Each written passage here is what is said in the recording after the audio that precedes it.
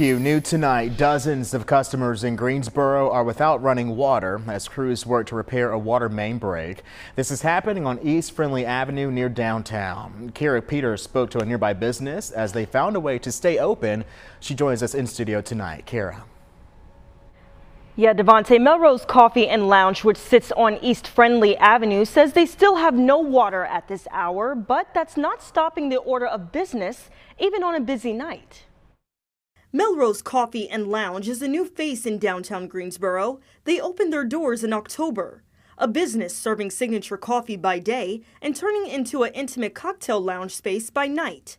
Jay Capistrano, co-owner of Melrose, says when they were notified of the water main break and its impact, they immediately jumped into action. What we did is, uh, well, it's going to be hard to access the, the restrooms. So we do have porta potties already set and ready in, in the parking lot right in back, uh, and also just to limit the, the, the amount of uh, dishwashing, we're going to be using our, our, our disposable cups and, and things like that. The water main break happening during a big event for the business. What we don't want to do is say cancel the event just because of that. We have a lot of people that's been excited about this event, and uh, we don't want to turn people down.